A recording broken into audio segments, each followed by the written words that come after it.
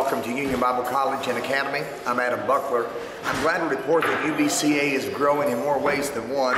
Love is in the air. Several of our couples have weddings planned. We're here today celebrating the wedding of Joy Gilbert and Phil Hoard. Here's some clips. I hope you enjoy. and friends, we are gathered together in the sight of God, in the presence of these witnesses, to join together Joy and Philip in holy matrimony, which is an honorable estate instituted of God, signifying unto us the mystical union between Christ and his church. Philip, God has ordained you as a man to be the spiritual head and responsible provider in your marriage. By his plan, your strength must be your wife's protection. Your character must be her pride. And you must live so that she will find in you the haven for which her heart truly longs. Joy, it is God's plan that you be a loving wife that you respond to your husband's love and tenderness with a deep sense of understanding.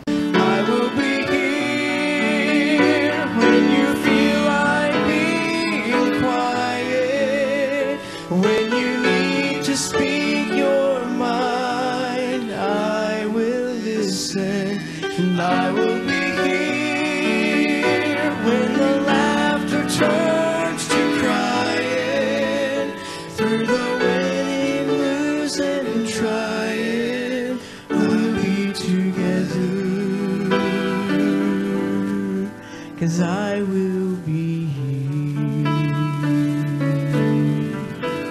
And now, having heard you make these pledges of your affection and take these vows of fidelity, I do, by the authority of the state of Indiana and the Church of Christ, pronounce you husband and wife, no longer two, but now one, in the name of the Father and of the Son and of the blessed Holy Spirit.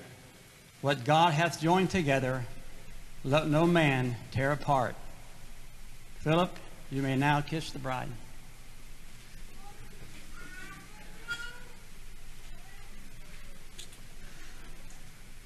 Ladies and gentlemen, it is my privilege.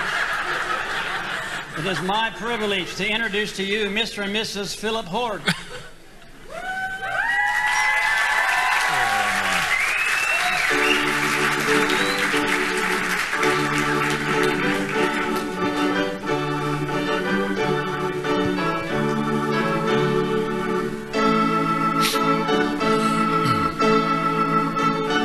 On behalf of all of us here at Union Bible College and Academy, we want to say congratulations to Phil and Joy on a wonderful day and the embarking of a brand new life together. Blessings on you both.